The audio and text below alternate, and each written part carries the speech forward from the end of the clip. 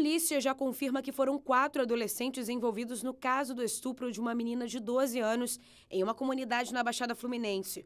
Um desses adolescentes foi reconhecido e se apresentou na última terça-feira. Ele já foi apreendido e está internado provisoriamente. O que a delegada titular da Delegacia da Criança e Adolescente Vítima, Juliana Emerick, busca agora é ouvir os outros três envolvidos para confirmar as versões apresentadas até o momento. A família de dois meninos já entraram em contato com a polícia, demonstrando interesse em se apresentar. Eles são esperados ainda hoje na DECAV. O quarto adolescente envolvido já é considerado foragido, pois não fez nenhum tipo de contato com os investigadores. Esses adolescentes vão responder pela prática do ato infracional análogo ao crime de estupro de vulnerável, que a previsão está no artigo 217-A do Código Penal.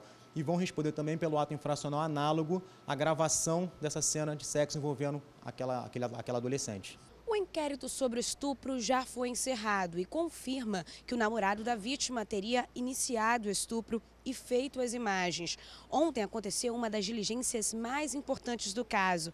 A casa onde aconteceu o crime foi analisada por peritos e tudo indica que o imóvel pertencia a um dos envolvidos no caso. O imóvel tem característica de moradia não é uma característica de que seria um local destinado especificamente para atos libidinosos. Nós conseguimos arrecadar naquele local os travesseiros, que são muito parecidos com os que aparecem no vídeo, arrecadamos máquina fotográfica e arrecadamos mais alguns materiais lá que podem é, é, ajudar muito a nossa investigação. As diligências e investigações continuam. Há mais dois inquéritos em aberto. Um sobre a divulgação e armazenamento do vídeo do estupro e o terceiro gira em torno de uma segunda testemunha. Havia mais uma menina na casa e os delegados buscam agora descobrir se ela também foi vítima. Nós temos uma testemunha, uma adolescente que estava no local dos fatos.